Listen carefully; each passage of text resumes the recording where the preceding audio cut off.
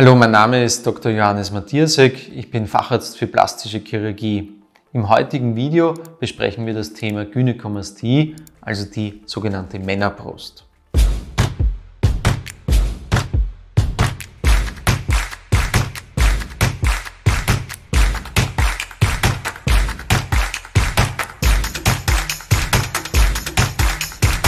Moki, qualitätsgeprüfte Informationen und Ärzte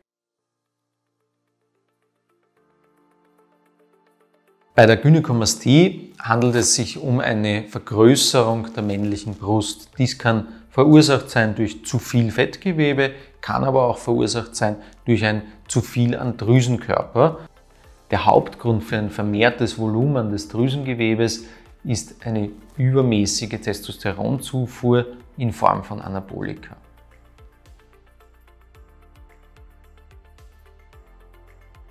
Zur genauen Diagnostik sollte vor einem Eingriff ein Ultraschall des Brustdrüsengewebes durchgeführt werden, um festzustellen, wie groß das Drüsengewebe und wie hoch der Fettanteil der Brust ist. Außerdem sollte ein Hormonstatus durchgeführt werden, um äh, zu sehen, ob ein Testosteronüberschuss besteht.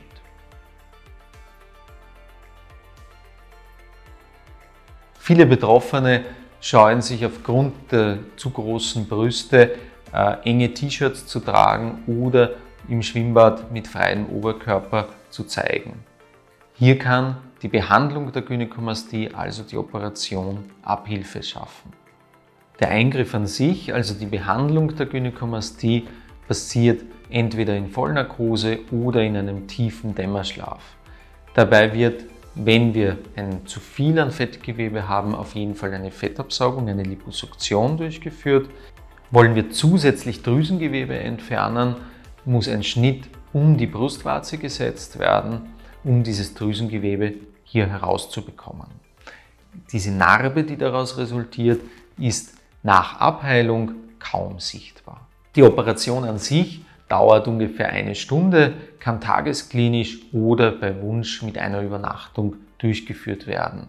Nach der Operation ist es wichtig, dass man für sechs Wochen ein Kompressionshemd trägt, Tag und Nacht, um das optimale Ergebnis zu erzielen. In dieser Zeit sollte man auch auf Training im Oberkörperbereich verzichten.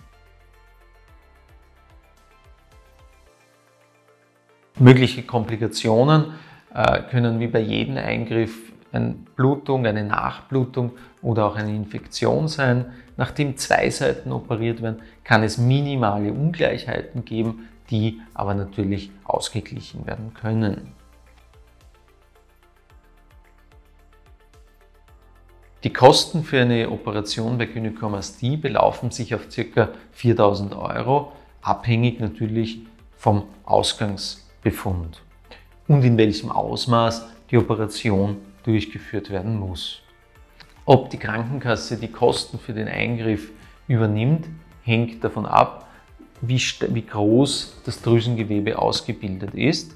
Handelt es sich um eine unter Anführungszeichen nur Fettbrust, wird die Krankenkasse das nicht übernehmen. Haben wir einen großen Drüsenkörper, den wir mit Ultraschall festgestellt haben, dann ist die Wahrscheinlichkeit sehr hoch, dass die Krankenkasse diese Kosten übernimmt. Wenn Sie weitere Fragen zum Thema Gynäkomastie haben, finden Sie diese gerne in der Infobox. Hier sind alle Informationen nochmals kompakt zusammengestellt.